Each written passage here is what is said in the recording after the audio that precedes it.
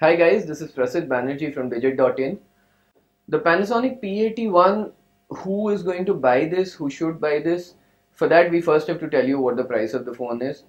It costs 20,000. 19,990 is the price Panasonic is giving you. It is available at 18,990 in retail.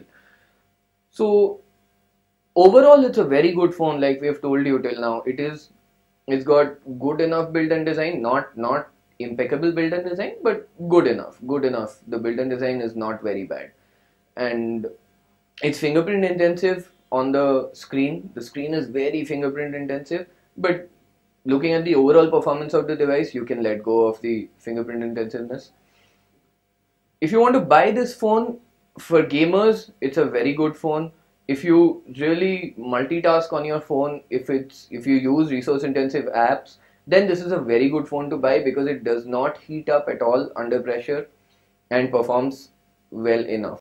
So you will buy this if you have that budget of 20,000 and you want a highly good performance from your phone, then this phone will make sense for you. But on the other hand, if you do not like these big screens, it's it's a 5.5 inch IPS screen. If you do not like these big screens and these big phones, then this is of course definitely not a phone for you. Also, if you're not going to be using your phone for a lot of things, if you're not going to use any resource intensive apps, if you're only going to play say games like Temple Run and Subway Surfer, then you shouldn't be spending on this. Definitely not spending on this. It is also a good choice for people who like cameras, who shoot a lot of pictures, because on ideal light conditions, your regular daylight conditions, this camera does take good pictures. So that is another range of customers that can go for this phone. Overall, it is not a bad device to buy at all for its price range. It is very good.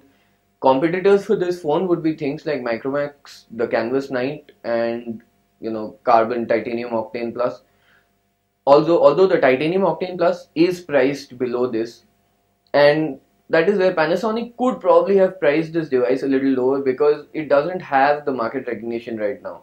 Although Panasonic is a known name, but in the smartphone market, Panasonic doesn't yet have a stronghold or for that matter a hold right now. So maybe if it would have priced this phone around 15,000 or even 16,000 it would have been a very very good phone to buy but on 20,000 it's a little steep just because of the fact that Panasonic does not have the brand recognition right now so Micromax Canvas Knight will probably sell a little more, but this phone has beaten Micromax Canvas Knight in many departments, except probably the software on the phone.